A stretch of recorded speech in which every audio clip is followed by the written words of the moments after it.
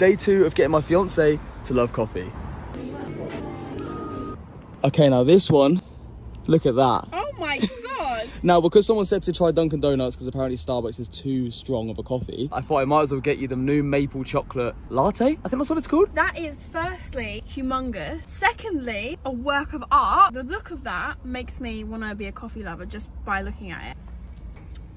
What are we thinking? That's better. Really? That's better than No yesterday. way. So today, what do you rate this out of 10? So yesterday's coffee from Starbucks was easily a 3 out of 10. Tasted like teacher's breath. Today's coffee does still have hints of teacher's breath in it, but I'm giving it a 7. Yeah, I knew you would. Yeah, I can actually barely taste coffee in this. I'm not even joking. Really? Okay. Oh, that's annoying though. I feel like I've not converted you to a coffee if you can't taste coffee. Okay, well, I feel like we're halfway there. Okay, so from yesterday being a 3 out of 10 and today being a 7 out of 10, that's a big improvement just for one day. It